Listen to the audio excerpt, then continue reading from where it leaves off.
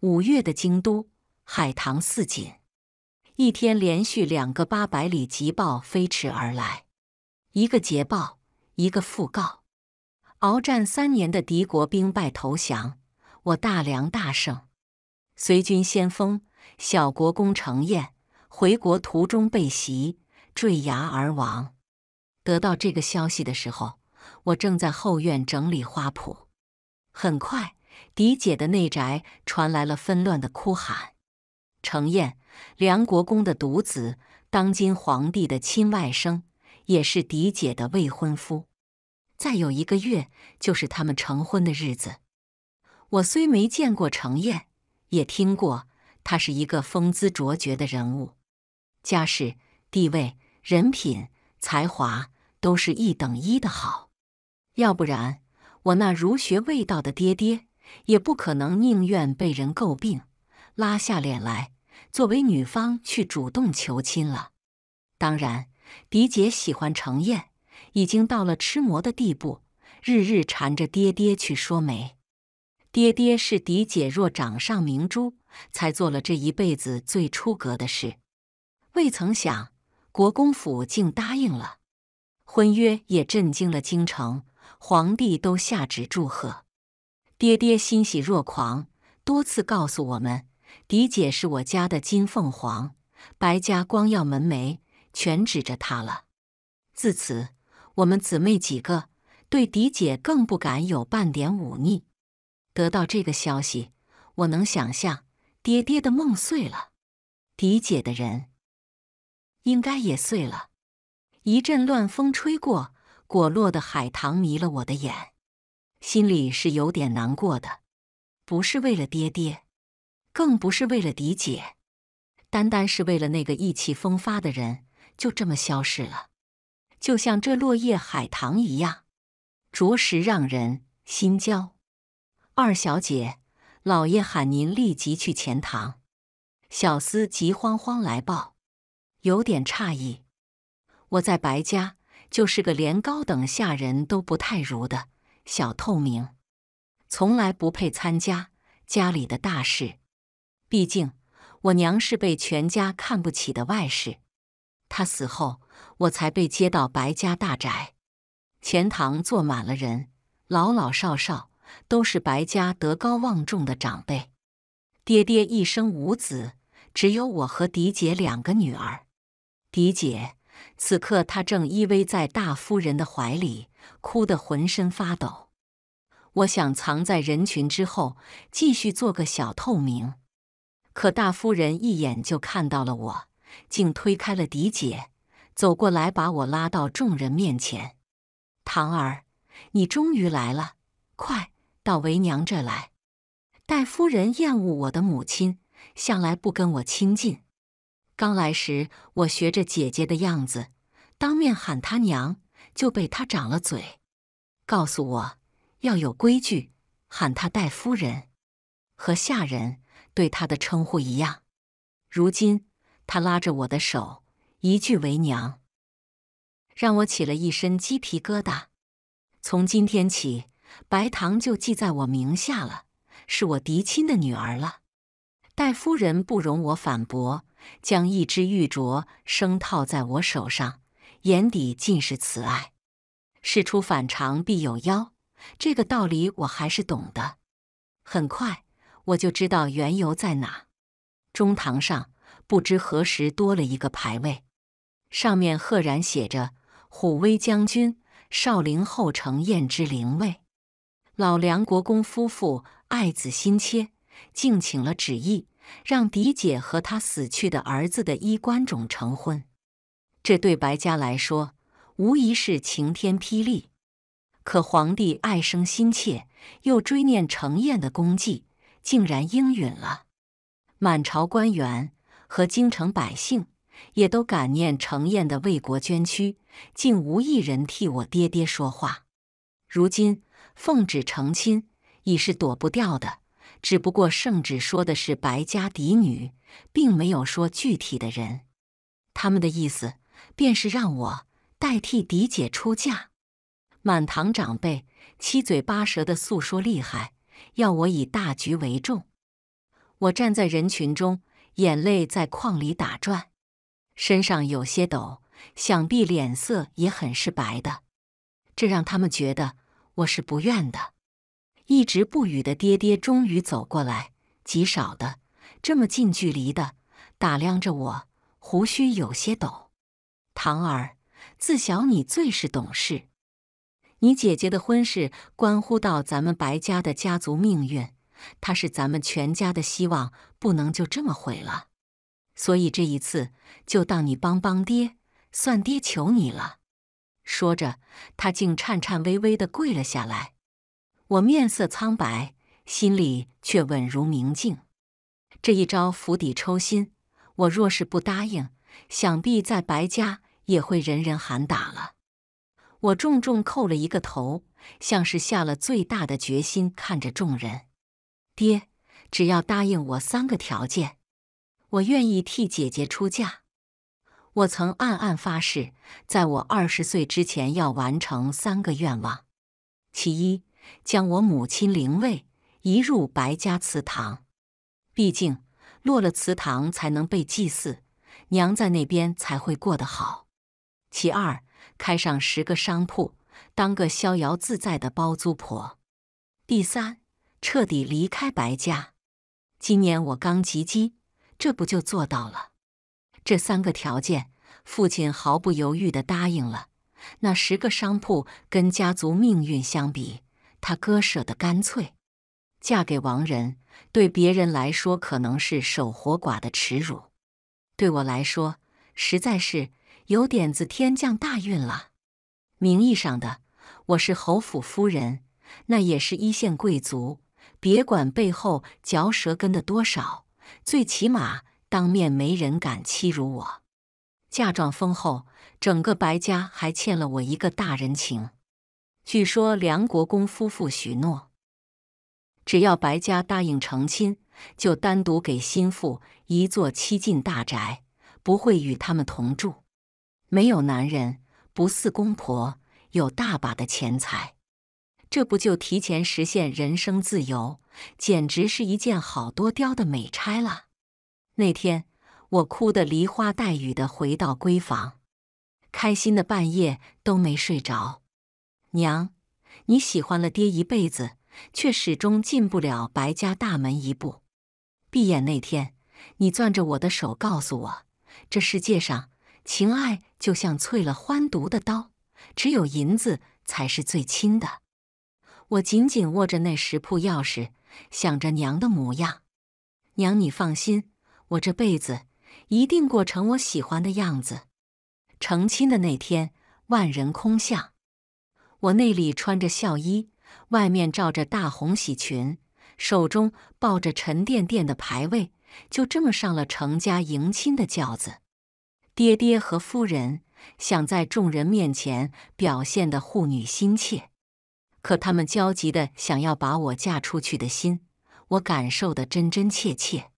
毕竟是怕我当场反悔吧。上轿之前，狄姐私下找到了我，她平退了所有下人，一改那关心的语气，满是居高临下的施舍。二妹妹，你不用觉得委屈。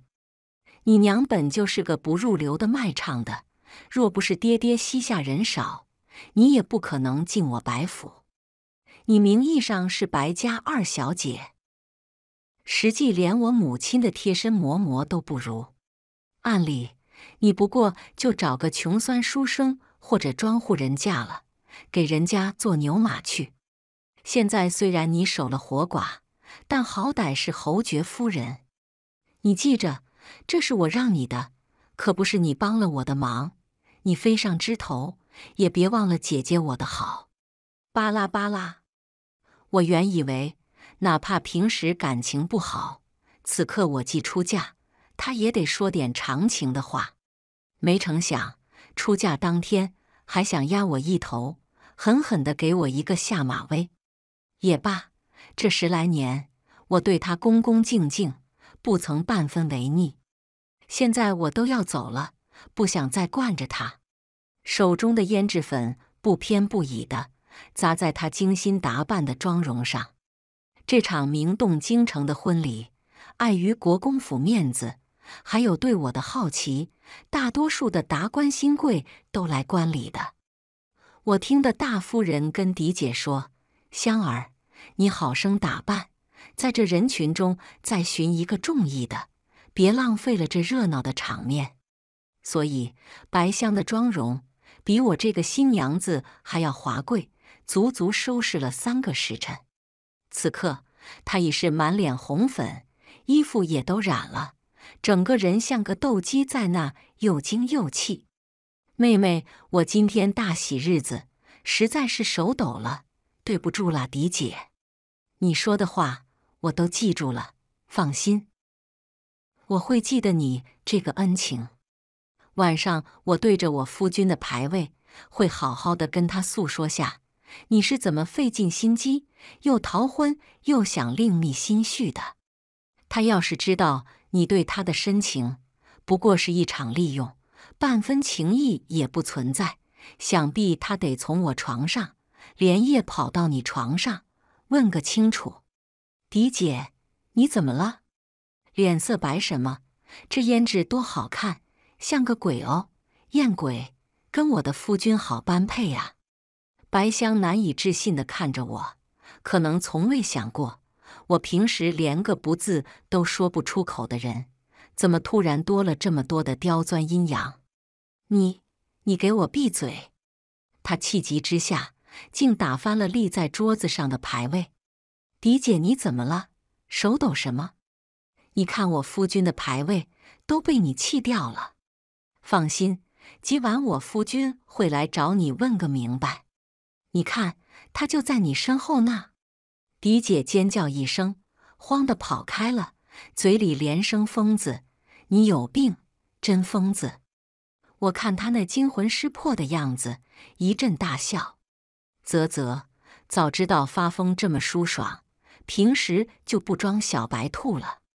看到牌位还在地上，我慌得捡起来，连忙擦拭干净，双手作揖，拜了又拜。程公子、小公爷、少陵侯，小女子不是有意冒犯，我知道你喜欢白香。但我这嫡姐缘就配不上你，我就是替你教训他一下。你莫怪莫怪，晚上可别来找我，别来找我。死者为大，我也是有点子怕的。婚礼办得十分盛大，但只因我是一个人，也省了很多繁琐流程。纵使这样，一天下来，我也累得抬不起腿来。送走了宾客，进入洞房之前。我拜见了公婆，这是第一次见到他们。拜堂的时候，我是蒙着盖头的，只一眼我就惊讶于公婆的相貌，像是从言情画本里走出来的人物，天人之姿，有凤求凰。只是失去儿子打击过大，夫人略显憔悴，却也掩饰不住那倾城容颜。突然的，我就伤感起来。父母这般耀眼，那他们的儿子程燕该生得多么好看，真是天妒英才了。我恭敬地跪倒在地，叩首：“心腹替夫君承郎，给父亲、母亲大人磕头问安了。”婆婆连忙下座扶起了我，再抬头，她眼里掩饰不住的泪，能看得出来她开心了。她拉着我的手。说了半天话，公公只吃了一碗茶，一言不发。只是我告退的时候，把沉甸甸的一把钥匙交给了我。新宅正在装修，你先在我们这委屈些时日，等那边收拾好，你再搬走。他们的坦诚让我震惊，比我想象的还要好相处。见我愣神，婆婆却踢了公公一脚。又拉着我的手道：“你爹爹不是赶你走，是怕委屈了你。你愿意在我们这就长期住着，烦我们了，就随时去侯府新宅子。那装修风格还是按照燕儿喜欢的布置的。若是哪里不如你的意，你尽管更改。想必你喜欢的，燕儿也是同意的。”我听着婆母的亲切叮嘱，仿佛就看到她呵护程燕的样子。而身经百战的公爹见到我故作深沉的关切，竟因为紧张。他们告诉我不必晨起昏定，想睡多久就睡多久，想吃什么就叫小厮去买，衣服细软，吃穿用度，变着花样的往我屋里送。就是公爹奉旨巡查，竟给我带来塞外的小玩意。我自出生到现在，除了我娘，从未感受到如此真切的关心爱护。想必他们是想把对儿子的疼爱双倍的加在我的身上。我有时候偷偷跑到祠堂，抚摸着程燕的牌位，告诉他：“你爹娘特别好，放心吧。”我会加倍孝敬他们的，替你一起孝敬。按照礼仪，红衣撤去，我穿了三个月的白衣，才回娘家探望。公婆早告诉我，想回便回。管他那么多规矩，可我依然遵守，因为我根本就不想踏入白家。但替夫带孝的日子过了，再不回门，就会被坊间耻笑了。我不怕这个，但是今天是我娘的忌日，我一身素稿回了娘家，一进门我就知道不合时宜。爹爹和大夫人正披红挂彩招待贵客呢，还有很多高官显贵陪坐，宾主正频频举杯。杜云新晋状元，工部侍郎，皇上弟弟李亲王义子干殿下。今年最是风光无限的人物，我看到狄姐对他顾盼流离，殷切的很。原来这就是爹爹给白香新寻的良配。我的回来撞破了他们其乐融融的兴致，显然爹爹早已将我娘的忌日抛之脑后。堂儿，这是杜侍郎，还不见礼。这是你将来的大姐夫。你行个大礼也不为过，就是二妹，快快给公子磕头。爹爹一家三口拼命示意，而周围的宾客纷纷投来看戏的目光。我再明白不过他们要什么了。京城麒麟榜，程燕第一，杜云第二，每每排名，程燕必压杜云一头。据说在很多场合。程燕一出现，就必抢杜云的风头。坊间流传着季生云和生燕的说法。如今，爹爹想要抓住这个准女婿，抱他的大腿，必然要有个投名状。倘若我这个程燕的侯爵娘子当众跪拜杜云，那他的名声必然会大噪，也帮他出一出。我亡夫活着的时候，处处压他一头的恶气，可他们忘了，我现在不是那个见人就跪的小丫头了。我盈盈走过，端起一杯酒，迎上岿然不动、一脸傲然等着我参拜行礼的杜侍郎。恭喜杜公子了，敢问侍郎是几品？不才正三品。杜云笑答，嘴上谦虚。那尾巴却要跳上天去了。堂中一阵赞叹恭维，让杜云脸上更加得意。既是我将来的二姨妹，就不要见外，见个礼，我自当包个红包，补上你和程燕大婚的贺意。我恍然大悟，失敬失敬。那请问侯爵是几品？他一愣，什么？我提高了声音。一等少陵侯是极品，那自然是超品的。哦，那国国诰命是极品。我说着，掏出诰命的印信，高举在手里。这是婆婆特意跟皇帝求来的，说是送我进门的第一个大礼。还没来得及昭告天下，国国诰命一品，少陵侯爵夫人超品。文官下轿，武官下马，见者大礼参拜。我今日带来这印信，是为了祭奠娘的时候给她显摆一下的。没想到在这里用上了。所有人惊得从座位上站了起来。毕竟，国国夫人已经很少授予人了，就连我爹和大夫人都有点腿软的想跪倒。今日是家宴，各位长辈无需多礼。我看着狄姐和杜云脸色虽难看，却也松了一口气。哎，我说长辈无需行礼，杜公子。你虽将来是我的姐夫，可初次见面，应先遵着朝廷制度。那一天，光鲜亮丽、被众星捧月的杜云，就这么生生跪倒在我面前，行了三拜九叩大礼，厅里噤若寒蝉，只有他华丽的衣摆摩擦地面的声响，还有就是白香实在憋不住的嘤嘤哭泣。他磕完头。我直接把酒洒在了他面前，就当对我娘的祭奠。当朝三品大员，给娘你磕头，够排面了吧？扔完酒，我转身就走，全然不顾爹爹的脸色已经降紫。身后传来杜云砸掉酒杯的声响，还有众人想化解尴尬，却又乱作一团的无用安慰。走出门外。阳光正好，我突然笑笑，抬头看着空中大团云朵，像一个将军纵马驰骋的样子。程燕，我虽没见过你，既已是你的妻子了，那必然要护着你的。你可安息？据说当朝新秀杜云的一跪，彻底让我在京城走红。不过不是什么正面赞赏。大多是奚落和嘲讽，甚至还有更多的谩骂。不知道走的什么狗屎运，竟然被封一品诰命。她一个庶出的丫头也配？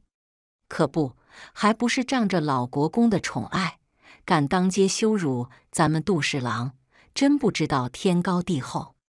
白家大小姐被他欺辱的直哭，哪有当众羞辱自家姐夫的？说到底。我看是眼馋杜公子才对，活该！一辈子富贵又怎么样？到头来还不是寡妇。其中大多的诋毁谩骂，应该是出自白香之手，毕竟她有一群志同道合的小姐妹的。还有一部分说是来自京圈贵族的小姐们。坊间恶骂四起，可我并不在意，跟着我的小丫鬟桃枝。委屈的呜呜哭，我笑他不与傻瓜论短长。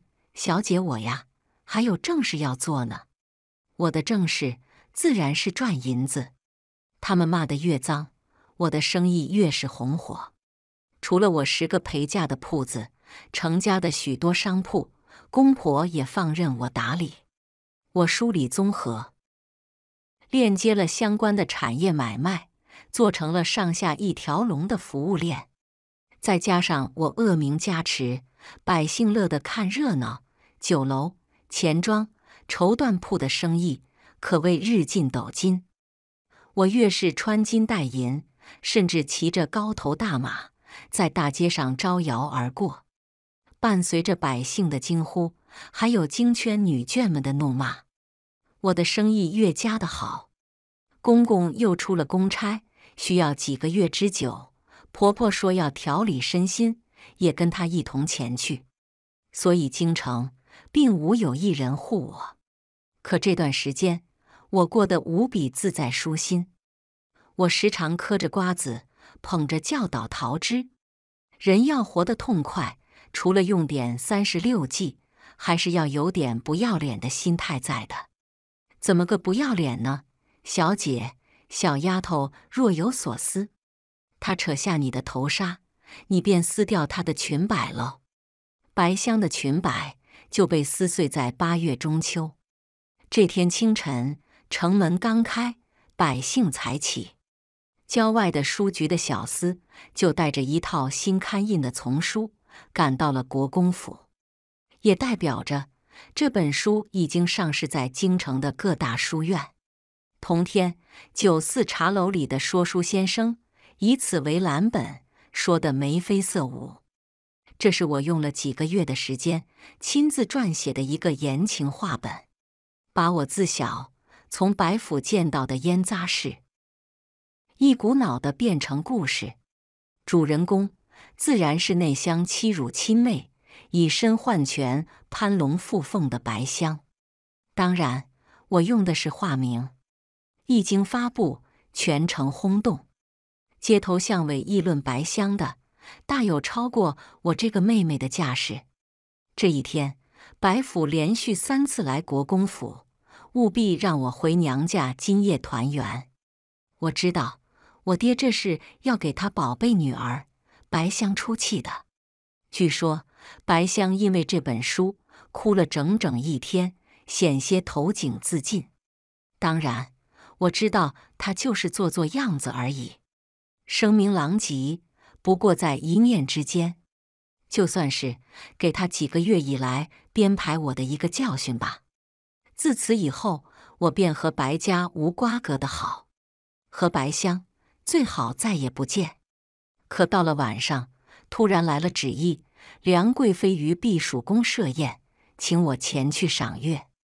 这梁贵妃是皇帝最宠爱的妃子，为人雅致风流，特别爱交际。皇帝宫外特建一座皇家别院，特别赐予梁贵妃和亲朋相聚游玩的。我和她并无交集，以为又是婆婆的安排，于是赶紧收拾好，赶了过去。我进到觥筹交错的正殿里，宴会早已经开始了。我素服进入辉煌大殿，音乐声、嬉闹声戛然而止，几十双眼睛。齐刷刷的落到我身上。我其实早就出门了，可传消息的工人却故意让我晚来半个时辰。我不解，为啥这工人故意给我难看？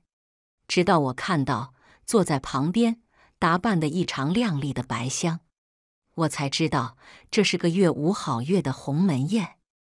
我快速扫过大殿上的盈盈袅袅，心里越发坚定判断。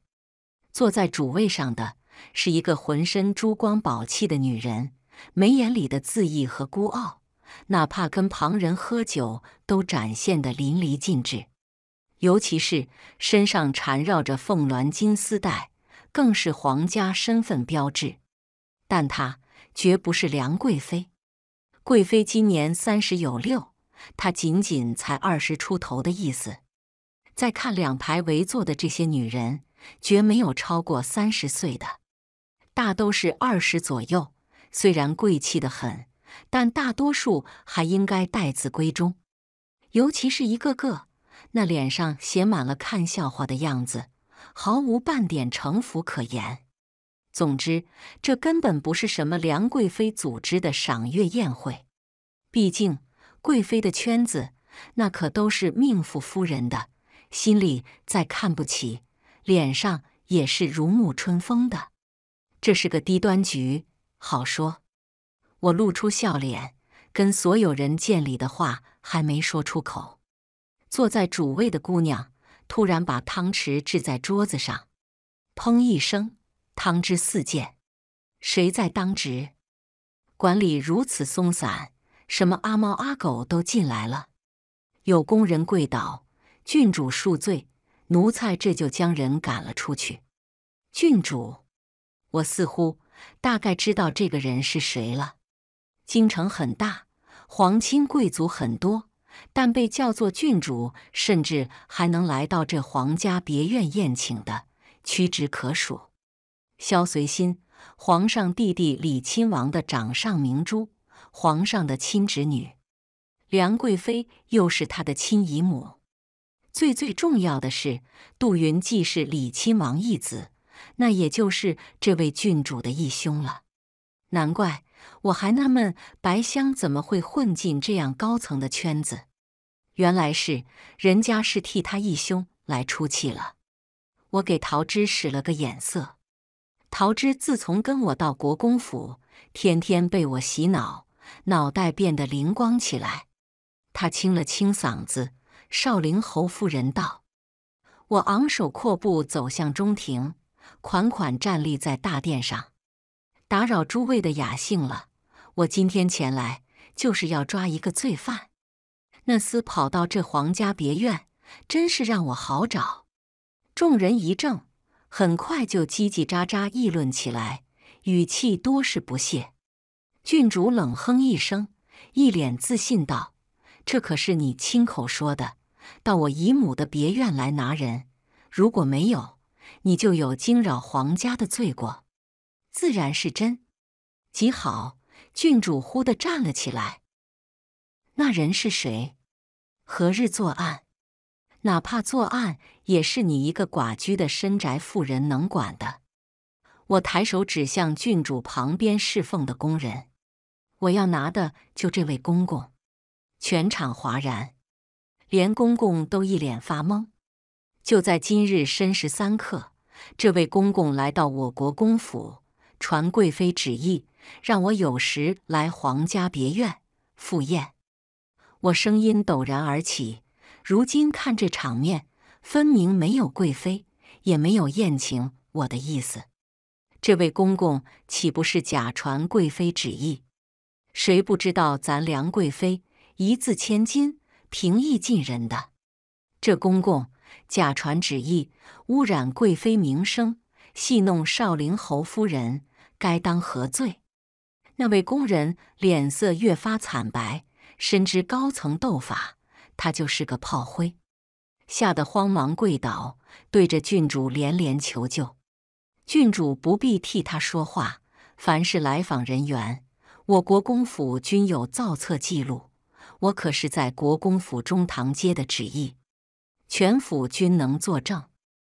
我是寡居妇人，可我国公府的证词。哪怕是到了陛下那里，也不能不作数吧？如此，郡主还不将这宫人拿下？如若郡主不拿，我就去京畿府尹纳报官了。吵架本就是气势第一，何况我还占理。当时这位方公公传旨，明确让我等两个时辰再出发，我就有点疑惑。等待的时间里。我也没闲着，打听到这位公公叫方敏，是皇宫别院几个管事之一，最近颇受梁贵妃喜欢，大有上升别院总管的意思。我断定，这样的奴才，郡主也不可能做出丢车保帅的事情。果然，我的质问让大殿陷入尴尬气氛，这些贵女们一个个变得吞吞吐吐。似乎被我吓到，尤其是郡主，脸色已经红黑不定，而那方公公还在磕头如捣蒜。这人群里还是有眼色的，连声禀报郡主：“我见过请客名单，是有少陵侯夫人的。郡主你多忙，可能忘记了。没错，没错，少陵侯夫人在京城名气很大，我们也很想结交。”所以才请的。哎呀，这本就是个误会。方公公这么尽心尽力的人，怎么可能假传旨意？是是是，误会而已。几个女眷都围过来，嘻嘻哈哈的化解矛盾。我不动声色，直勾勾的看着郡主。郡主的脸实在有些挂不住。原来是个误会，那怪本郡主忘记了。来人呐！给少陵侯夫人看座吧，我没客气，直接坐在了上首首座。女眷们都气鼓鼓的，纷纷落座。他们频频举杯，我只管饮酒、吃美食，养精蓄锐。事情不可能就这么结束，第二波挑衅很快就来了。郡主突然平退了乐师，对我说：“既然来了，就玩个游戏。”都是好姐妹，提一杯酒问一个问题，又有趣又能快速熟识。少陵侯夫人日夜空房之苦，让姐妹们好好给你疏解疏解。女眷开始车轮战灌我酒，这实在是有点太欺负他们了呀！我娘确实是个卖唱的，我没继承她的唱功，却继承了她的酒量。确切的说，应该是超过了他的酒量。曾经在那个漏雨透风的小屋子里，我娘看刚满十岁的我偷喝掉她亲自酿的一坛杏花酿。事后我只睡了一天，连请郎中钱都省了。从那时候，他告诫我，对外只需喝上一小盅酒醉。进入白府以后，我也是这么藏拙的，所以每次走形式的家宴，白香都会灌我取乐，我也乐见其成，直接晕倒，然后被桃枝扶回小院。我俩重新倒酒，整个小烧烤才吃得痛快。我扫过众人一眼，落到白香脸上，果然，她眉目中的戏谑呼之欲出，可见这灌酒是他的主意无疑了。既然脸都伸过来打了，那我不动手可是我的失礼。你平时在家中做什么？没有男人寂寞不寂寞？你娘是卖唱的，低等下贱，是怎么勾引白夫子的？据说流行市场的《三水梨花录》是你写的。还把白夫子气病了，白大小姐被你害得险些投井，你是怎么勾搭上小国公的？说你们俩是私定终身是吗？那风采的人物怎么会看上你？你是继承了你娘的狐媚功夫吗？程将军横死沙场，是不是因为跟你定亲？还是他宁死不想娶你？我要是你，就一尺白绫。追随小国公而去，你还是不够爱呀！画风逐渐离谱，全是人身攻击。来人，换大碗！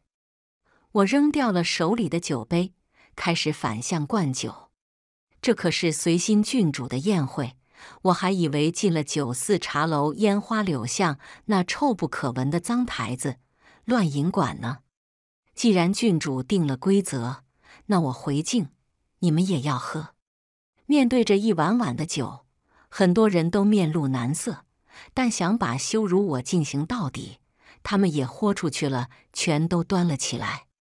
我平时在家孝敬公婆，打理商铺，操持家业，我日赚百金，夜赚千银，舒爽的很。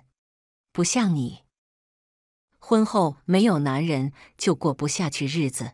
日日伸手要钱，夜夜讨要利银。你夫君高兴多给你两个，不高兴给你个耳光，你也受着。你虽是人妻，不过是他手里的一个工具，白天用，晚上用，用烂了，你家夫君自然会换新的。我娘卖唱不卖身，自食其力，红遍小镇。白夫子游学遇见我娘，如春风入户。枯枝遇春雨，自然生桃花。他百般求娶，从未提及大夫人。不然我娘刚烈的性子，那一准不会有我了。你问的好，我要多敬你一杯，以此为我娘正证明，是白家愧对我娘。我和小公爷是陛下赐婚，婚书聘礼一样不差，何来的私定终身？你都说了程燕这般风采，在座的就有多方托媒的。哦，张小姐，你好像还去了好几次，他没看上你，也没看上别人，单单看上我这件事，不是足以证明我比在座的都要好，要好得多。狐媚功夫我倒是不会，但是我进了国公府，婆母公公对我称赞有加，全京城都知道我是个好儿媳。跪上一天的收益就够你吃三年了，王小姐，人穷志短，不怪你说出这样的话。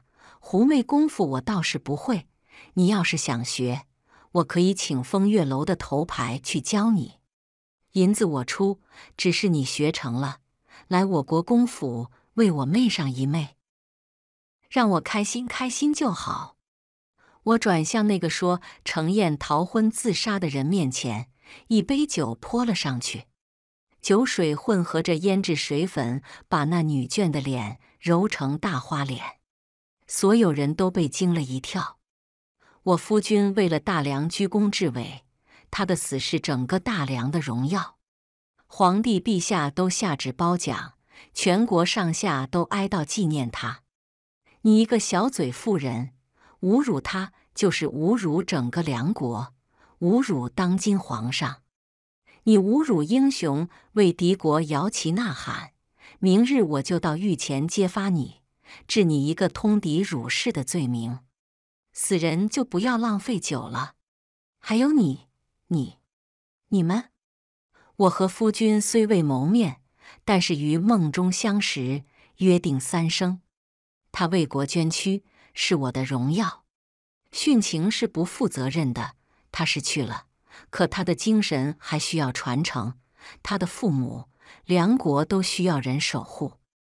我为什么要头脑发热的去自杀？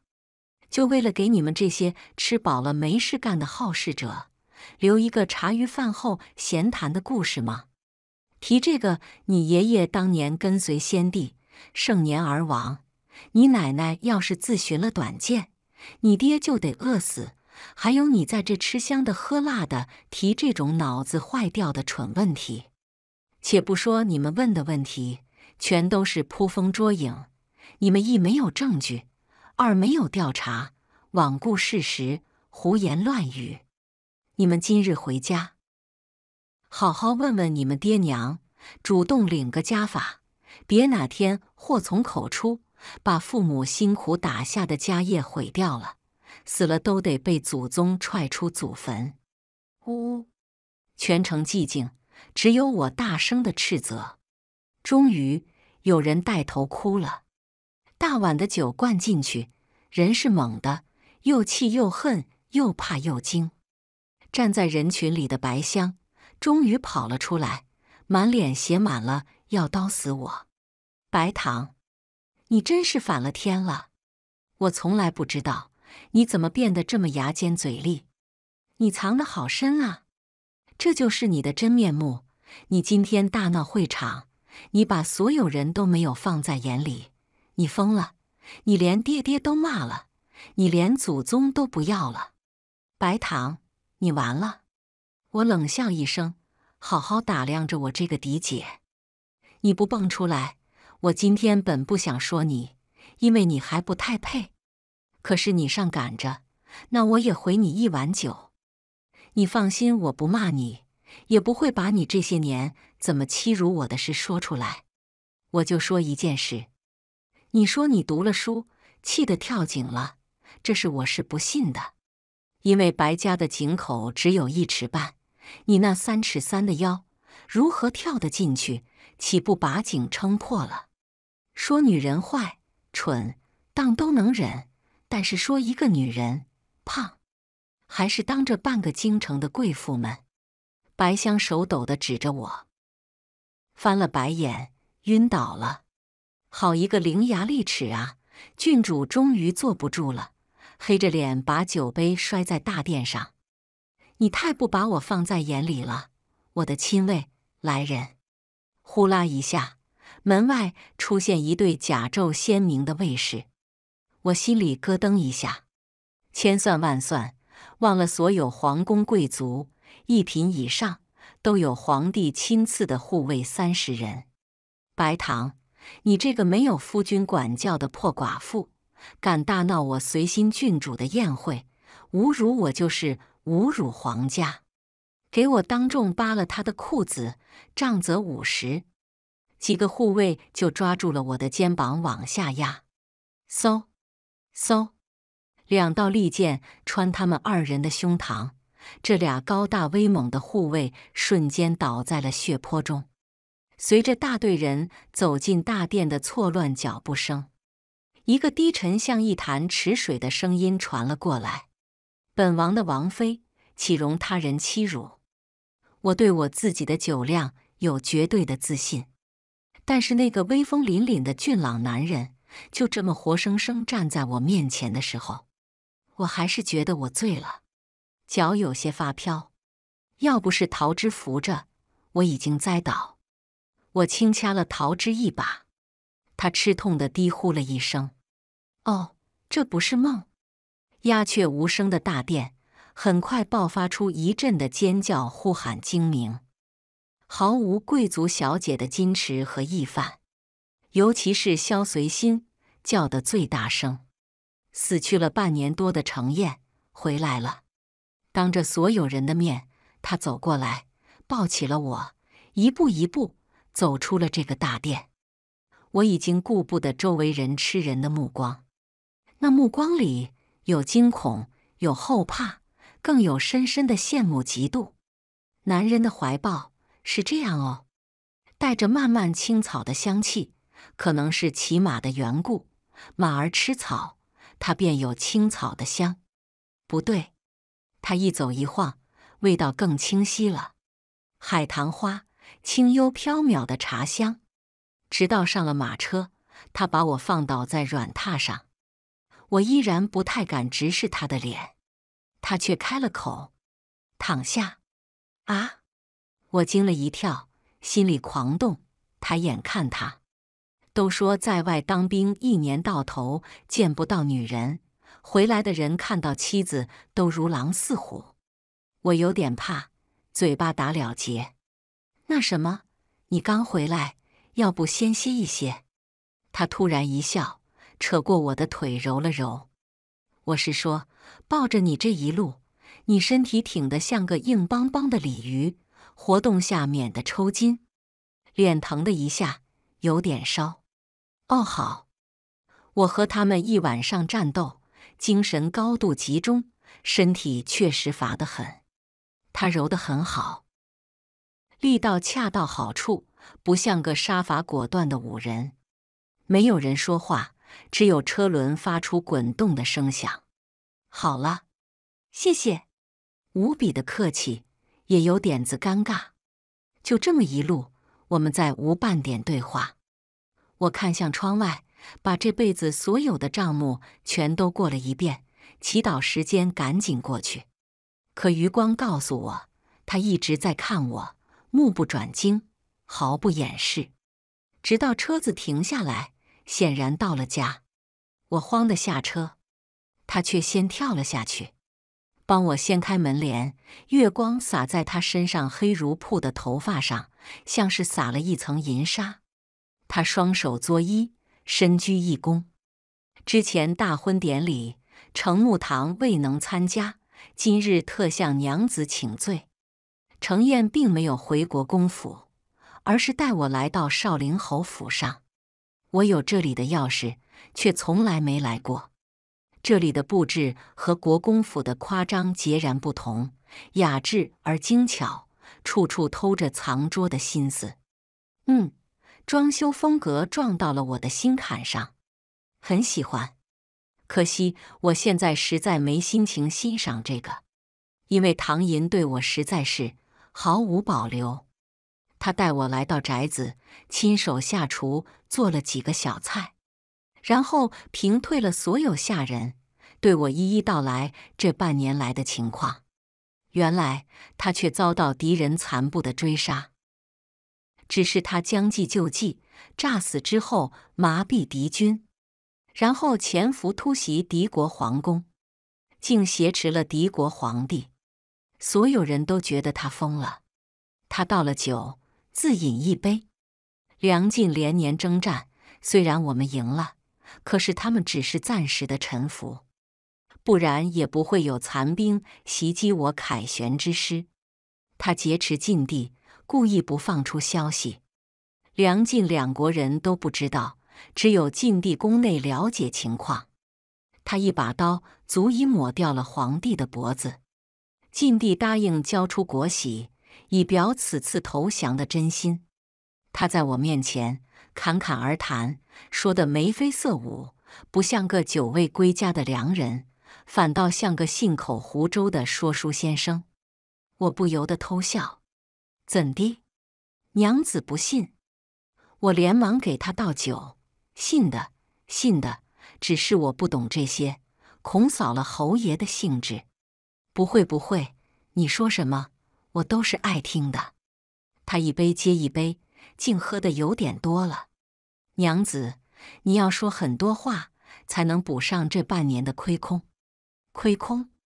这俩字我熟，可没有产业是赔钱的呀。他却突然捉住我的手，轻轻点放在他的胸膛。我说：“这里思你成疾，实在是亏空的很。”啊，从政治到言情，一点铺垫都没有吗？我有点措手不及。他捉得我的手都发痛了，只需要用力一带，我就会栽入他的怀中，然后那泛滥的情感就会冲破他的胸膛。落在两唇之间，没错，话本都是这样的，我就是这样写的。我慌的抽出了手，身体虚一下，弹跳了出去，酒杯都碰倒，洒了一桌案，尴尬。我连忙用袖子沾沾眼角。侯爷，我今晚被那些女眷吓到，到现在惊魂未定。程燕似笑非笑，我倒觉得娘子你。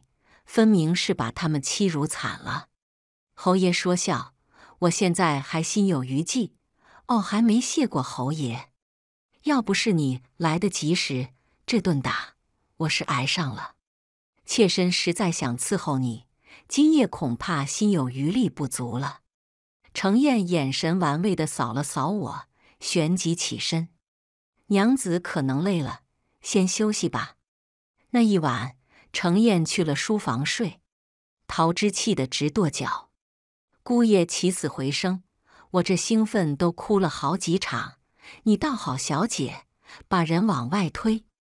姑爷多好的人，千年难遇，跟神仙下凡一样。小姐，你这样像话吗？合适吗？太不近人情。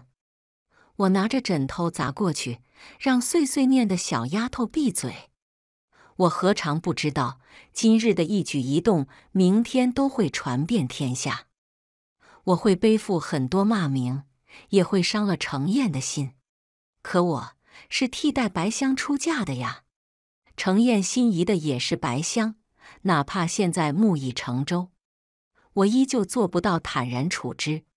钱财我来者不拒，不属于我的感情，我分文不取。这对我不公平，对程燕更是不公平。他越是坦诚，我越是不能骗他。辗转反侧了一夜，我打定主意，明日一早就跟他彻底坦白。我辗转反侧一夜，天明才熟睡过去，到醒来竟已经四时了。果然，不跟公婆一起住，人都是慵懒的。这短短一上午，三个消息如惊雷炸裂在京城。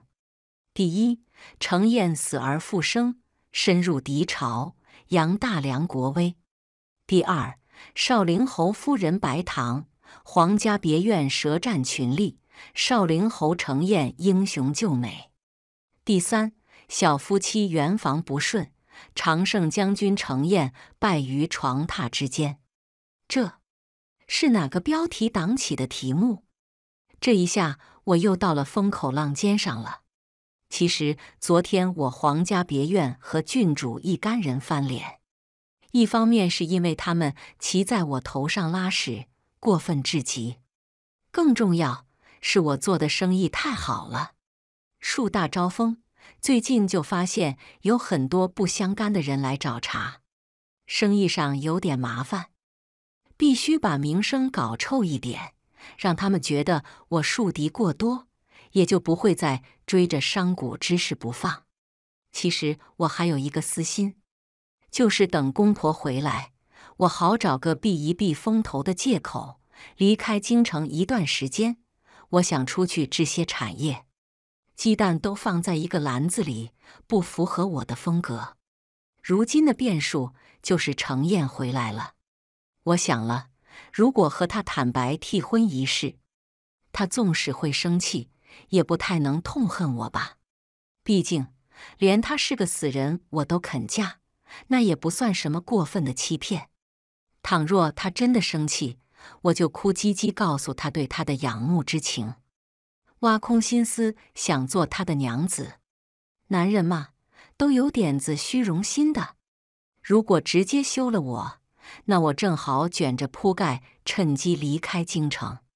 想到这，我不禁重拾信心，赶紧穿戴整齐要去见他，却被告知他一早就出门了。护卫说是什么挨家挨户去拜访同僚朋友，这么耀眼的人，还这么懂礼貌，情商很高啊。又发现他一个优点，侯爷要晚膳才回来，务必让夫人给一个交代。交代什么？护卫多一个字都不愿说了，眼神飘忽不定。难道是程燕知道我是个替身了？很快我就知道是什么交代了。程燕这厮散了早朝之后，就闯到昨日皇家别院里难为我的千金女眷们家里，挨个敲打了。据说好多小姐。都被吓哭了，他们的父兄唯唯诺诺，连连道歉，说是务必会押着不懂事的姑娘来府上亲自赔罪。我夫人喜欢安静，亲自赔罪免了，改成赔情礼吧。哦，她本性纯真，是爱金银钱财。你们问清你们姑娘说了什么嘴欠的话，该用多少银子赔礼，务必要让我夫人满意。这一天，一箱一箱的奇珍异宝源源不断的送到了我屋子里，我傻眼了。真的，程燕这厮特么的是个天才呀，还是胆大包天的那种。我服了他，他前脚走，后脚就有好多御史参他，逼迫官绅强取豪夺，无一例外，全都被皇帝申斥的申斥，杖责的杖责。毫无顾忌的宠爱，独一份了。至于随心郡主，就被禁足一月，护卫特权还被皇帝免去了。就连杜云，本来马上要升到户部的他，被调到翰林院，成为我爹的副手了。总之，这些欺负我的程燕一个也没有放过，除了白家，他没有动。我知你不喜欢白府。可那毕竟是你娘家，好与不好都是他们自己的造化。但要是因为你过得凄惨，一时是爽了，我怕你日后想来，心里也会难过。他穿着月白色的长袍，站在院子里，认认真真的解释。我突然就那么的有些鼻酸。这个人真的挺好，要是和他这么过一生。也是不错呢，我被我的念头忽的吓了一跳，赶紧回头看了堆满屋子的珠宝，清醒清醒头脑。再回头，他已经到了眼前，近的能嗅到那熟悉的海棠香。娘子，你是对我今日的处理不满意吗？很满意，但是程燕，嗯，我有事要跟你说。他眼神发亮。满是期待的看着我，哎，我怎么有点罪恶感呢？先说好，你听了不许打人，也不许叫骂。哦，这院子里的钱财要是拿走，可否给我留一点？娘子，你到底要说什么？我心一横，我实话告诉你吧，我是白府二小姐，和你有婚约的本事。突然，外面传来高和声，衣着华丽的大太监疾步走进来。皇上有旨，临安王携王妃即刻进宫赴宴。临安王，王妃，我正惊讶于这陌生的称呼。程燕已然牵起了我的手，言笑晏晏：“走吧，进宫吃大席，我的王妃。”我这辈子从来没想过还能进宫，那个威严的、遥不可及的百姓口中敬畏的雄伟建筑群，就这么层层叠叠的靠近着我。走过一条长长的甬道，终于来到了新华殿。这一路，程燕都牵着我的手，她温热的手心令我心安。别怕，我做什么呢，你就做什么就好。怎么形容进去的感觉呢？有点像是寺庙，京城的延堵寺，我也是去过两次的。那大雄宝殿里端坐的金身菩萨，我小时候不敢仰望。皇帝好像比那菩萨还要威严，他没说话，只那么高高坐在玉座上，就压得让人喘不上气。怕倒是还好，但紧张是有的。臣程燕携心腹白糖给皇上、皇后和各位娘娘请安。他跪，我便跪；他起，我也起。皇帝一挥手，一个工人倒来三碗御酒，端在程燕面前。那碗不算小，足有二两的意思。程燕说了句“谢陛下”，端过一碗一饮而尽。他做什么，我做什么。我只记住了这句话，于是众目睽睽之下，我抬手拿过了第二碗上，也说了句谢陛下。随即在工人的震惊目光中一饮而尽。等程燕发现的时候，酒碗已经见底了。大殿里发出了窸窸窣窣的笑意，皇帝第一个没忍住，哈哈大笑了出来，所有人都跟着笑出声。一下子严肃到极致的大殿破功了，好，好，木堂啊，你这位小王妃是个妙人，这凯旋功勋酒喝得痛快，果然是配得上你的，朕很高兴，当赏。我才知道皇帝给有功之臣亲自斟酒三次，已是最高嘉奖，酒被我截胡了。有点丢人，但这一晚我过得很愉悦，甚至很友好，和皇家别院的经历截然不同。这里所有高高在上的人疼爱程燕，爱屋及乌，也待我很好。皇帝、皇后、各宫娘娘都赏赐给我很多东西，甚至梁贵妃都主动拉着我的手，跟我表达歉意。皇家别院的事他都知道了，怪他没管教好外甥女，我都有点诚惶诚恐了。整个宴席我都被程燕护着，只是不许我再饮酒。我才知道程燕的功绩已经封无可封了。他回来当日，皇帝就已经下了封王的旨意，即将于明日昭告天下，程燕。成为大梁第一个异姓王，我也成为王妃了。这个词和我联系起来，实在是有点梦幻。回去的路上，程燕突然停了车，问我要不要走一走，醒醒酒。这里有一处很别致的，跟我来。他捉住我的手，步履说不出的轻盈，跨过石栏，上了一条梅花小径。沿着小径往深处走，不一会，迎面是一个石台。他抱我越过石台，我以为无路可走的时候，远处赫然出现了一片波光粼粼的江岸，岸边灯火闪烁，两岸是那没有宵尽的勾栏瓦肆，星星点点火光连接到天上，灿若繁星。这是紫兰江。紫兰江在京城以东。怎地在这里竟然能远眺？程燕把我的斗篷紧了又紧。都说京都十景，紫兰江舍我其谁？我觉得最妙的是月夜观江景，天秀斗白银。白糖，你看下雪了。我从没有见过那么浪漫的江，那么浪漫的雪，那么浪漫的人。仿佛一瞬间就将我这多年的隐忍不悦一股脑的吹走了，就特别的快乐。这种心情的愉悦，是我对金银情有独钟之后第一次感知。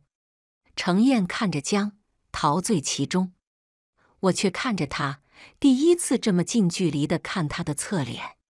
他生的朗目星唇，男人女相。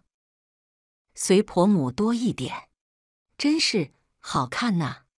不知怎地，我心跳的突然好快，和那日他抱我出别院时候同样的心跳不一样。他突然转过来，在我的脸颊上啄了一口，蜻蜓点水却激起惊涛骇浪。我觉得这斗篷怎么那么热呀？藏着火炉子了吗？不由得捉着斗篷两边使劲扑棱扑棱。程燕却笑出了声，一把把我箍进怀里，让我动弹不得。怎地？想把我扇成伤寒吗？我笑着埋入他的怀中，就这么在他怀里看了很久的江景。程燕，谢谢你，谢我什么？很多，谢你有很好的双亲，谢你给我挣了那么多金银财宝，谢你带我来皇宫，让我见世面，得到那么多赏赐，也谢你待我真诚，更谢你是一个好人。程燕叹气：“好人卡不能随便发的，可我还是要跟你说一件事，就是进皇宫之前，在府上，我未曾说完的那句话，哪怕这些东西。”这些美好，顷刻消散。哪怕今日在杀风景，我也必须告诉他我是替身的事实，因为我发现再不说我就没机会了。我大概已经喜欢上他。那日的坦白终是没有说出口，不赖我，是程燕堵住了我的嘴，用他的唇。我在一些特殊渠道的小话本里。描写过接吻的戏码，可真到了我自己这，整个人就好像只有心脏是活着的，跳得太过剧烈。程燕的吻很温柔，可于我而言有点烈，或者说有点上头。娘子，明日跟我回一趟白府吧。等回来，我一定听你好好说完那句话。我同意了。如果能当面说清楚。那是再好不过了。那一刻，我做足了迎接一切的准备。但凡程燕知道真相后，对白香有一丝眷恋，或对我有一丝厌恶，我都会卷上铺盖卷，彻底离开京城，做回我自己更好。临安王携妻拜月帐，京城都轰动了。程燕搞了很大的阵仗，备下礼物颇多。随从人员足有五十人之多，我知道这排场就是做给我爹看的。果然，我们还没到，我爹就带着白家老老少少的恭候在门口了。他们穿着最华丽的衣服，神态恭敬的等候着。而程燕特意穿了王爷的官服，这也是我第一次这么近距离的看王爷的红色蟒龙袍。到底是人靠衣装，佛靠金装，连我看了都想给他磕个头。果然，我爹二话不说，带着所有人就跪迎了。按照礼制，我爹一个三品跪王爷是理所当然的，哪怕王爷是女婿。我跟在程燕身边，享受着他们的跪拜，恍若隔世。犹记得我那年六岁。也是这般天寒地冻的时节，我病得差点死掉。那是我娘第一次登白家的大门，在门口跪了三天三夜。那时候，我爹的母亲，也就是我的奶祖母，还活在人世。她的味道是感比我爹有过之而无不及。他们看不起我娘，甚至都希望我死在这场病中，让白家少一点污点。所以没人理会，最后是跪僵了的娘拿着刀子要自刎在白家大门口，我爹才出了钱让我捡回一条命。我永远忘不了那皑皑白雪中跪地哆嗦的娘的身影。如今就当你们给我娘跪吧，我坦然受之。程燕的几句小絮让我爹喜笑颜开。他们把我们迎入府里上座，我看到了大夫人的局促不安。毕竟她曾经对我多不好，整个白府的人都知道。所有人都到了，唯独不见白香。皇家别院那时候，他是晕倒了，没见到程燕。可等他知道程燕还活着的消息，就整整哭了一夜。据说。把房间砸了个稀巴烂，我都可以想象，他肠子都悔青了。这个场合他竟然没出来，有点出乎我的意外。吃饭过程中，大夫人殷勤给程燕布菜，旁边侍女一不小心就把酒碰倒了，洒了程燕一身。这般没规矩的东西，给我拖出去！我爹脸上挂不住了。戴夫人一脸惨笑：“是我没有管好下人，王爷恕罪啊！还请王爷一步，随人到后堂换一身常服。”我知道绝对有事，不太想让程燕过去。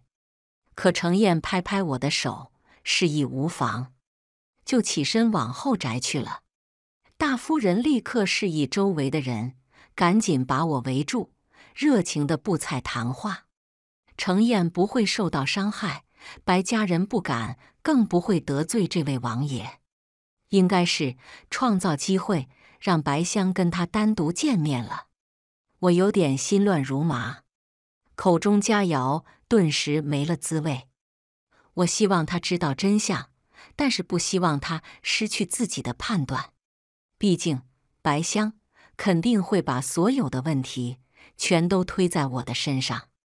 先入为主的刻板印象很难拔出来。程燕喜欢的可以不是我，但是他不能恨我。想到这，我再也坐不住，直接扔了筷子，起身就要往后堂走去。左右突然来了两个健壮的老嬷嬷，一把将我左右按住，又坐回到座位上去。戴夫人脸色已经冷了，你安心在这坐下。不是你的东西，早晚是要还回去的。一旁爹爹脸色也是红白相间，言语里竟然带着愧疚。唐儿，我的好女儿，你自小最是懂事。虽然你出嫁之后做了很多有辱白家的事情，但是爹都替你挡了过去。你放心，王爷如果知道真相后，怪罪于你。爹一定拼命力保你不受责罚，你相信爹？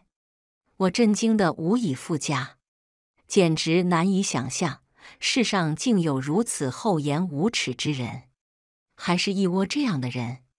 正在这时，后堂突然传来一阵哭声，紧接着就见一身长服的程燕大步走来，后面跟着他的护卫。手里压着一个一身凌乱哭得满脸通红的女人，正是白香。这次家宴相见，白香真的让我吃了一惊。我原以为她最次不过是诬赖我，上赶着抢她的夫婿，这是我能想到最坏的地方了，却没想到她竟孤注一掷，她竟脱了亵衣勾引程燕。程燕的眉峰如刀。再无半点笑意，显然被恶心到了。一进来，两个侍卫就把白香扔在了地上。他慌得用衣服把自己裹住，脸埋入裙摆，哭得浑身发抖。这这是怎么了？爹爹胡须都炸起来了，像一只被踩中脊梁的野猫。岳丈，你这个大女儿，竟然诬我娘子白糖！说他给他下了药，趁着他混沌不知，才顶替他的位置，嫁入我国公府。这是不是真的？爹爹脸上已然都是汗水，大夫人却哭着抱住了白香。自然是真的，让白糖替嫁，实属无奈，并不是有意欺瞒王爷。只可惜我的香儿从小仰慕王爷你。发誓这辈子非王爷你不嫁。得知王爷的死讯，香儿差点要殉你而去。王爷你能回来，香儿高兴的几度昏厥。他实在是太心仪你，才会不分场合的说出真相。王爷，你要怜惜我这苦命的女儿啊！我爹爹一跺脚，跟程燕行了一礼。王爷，我白正臣一辈子没做过亏心事。只这替嫁一事，我脸上无光。白糖他在用心机，到底也没有害人，委屈了我一个女儿，成全了另一个女儿。我白正臣糊涂，哪怕你治我一个欺瞒之罪，我今天也得说个公道。我到国公府提亲，却是替我大女儿白香提的，并非白糖。如今王爷哪怕修了白糖，迎回白香，我也认。哪怕哪怕你不修白糖，将白香添在后宅，我也认了。老爷，香儿可是嫡女，怎么能屈居白糖之下呀？你给我闭嘴！爹爹怒喝了一声：“大夫人，只求你看在白糖伺候公婆还算懂事的份上，不要治罪他。老夫这里给你赔罪了。”爹爹说完，就重重的叩了一个头。满堂沉默，只剩下白香和大夫人的哭泣声。程燕没有看任何人，目光终于落到我的身上。娘子，你有什么想说的吗？不胜唏嘘，这一场颠倒黑白的大戏，着实让我疲惫。我有很多话要说，有很多委屈要诉，可突然之间，就一个字都不想说了。我摇了摇头。程燕第一次露出了嗤笑的表情。娘子，我知你不喜欢你的娘家，如今我才知道，世上竟有这般厚颜无耻的一窝蛇鼠。真是烟扎了我的耳朵。他从袖子里拿出了一封信，交给我。我有点惊讶，打开看完，惊得我从座位上站了起来。程燕拿过那封信，扔到地上，交给爹爹一家三口去看。那信上明明白白、清清楚楚记载了当日爹爹下跪逼我替嫁的事情，每个人说的话。都一字不差，这写信人就像在当场一样。爹爹一家三口看完，都浑身抖如筛糠了。王爷，老夫，老夫只是为了家族荣誉，糊糊涂了。爹爹开始嚎啕大哭。我再告诉你，白夫子，白香刚在后面表白不成，刻意勾引本王，又在本王茶里下了药。企图弄假成真，你真是养了两个极端的女儿，一个那么好，一个那么坏。你不是糊涂，你只是单纯的坏。欺君罔上，谋害亲王，白正臣，你的罪过足够夷三族了。程燕轻轻的一句话，对白家人来说如洪水猛兽，所有人都跪倒，吓得抖如筛糠。我爹和大夫人彻底崩溃了。爹爹开始告饶，见程燕不为所动，竟然爬向了我，拽住我的裤脚。唐儿，是爹对不起你，你跟王爷求求情，只有你能救白家了。唐儿，当爹求你了，爹，这是我最后一次叫你了。从此以后，我和白家再无任何瓜葛。我娘的牌位我会带走，我后悔了。她在白家祠堂待着，一定是不开心的。白家的血液真脏。我说完就走，程燕也跟在身后。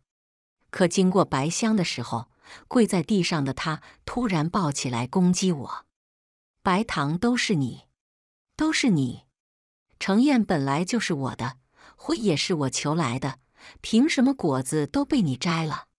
就因为你嫁过死人吗？程燕喜欢的是我，是我。程燕猛然一个巴掌，将白香扇肿了半边脸。你们都听好了，我程燕自始至终心仪的只有一个人，就是我现在的娘子白糖。满城女眷加在一起，也不如白糖在我心中之万一。至于你，白香，不要再出现在我面前。污了我娘子眼睛，程燕说罢，捉住我的手，低声问我：“娘子可还生气？”我脑瓜子嗡嗡的，已经没有精力去生气，满脑子都是他刚才掷地有声的表白。程燕心仪我，他心仪我，我和白家彻底决裂，再无瓜葛，从此身后再无娘家了。这本是一件伤感的事情，可我从白府出来之后，嘴角一直就翘着，停不下来。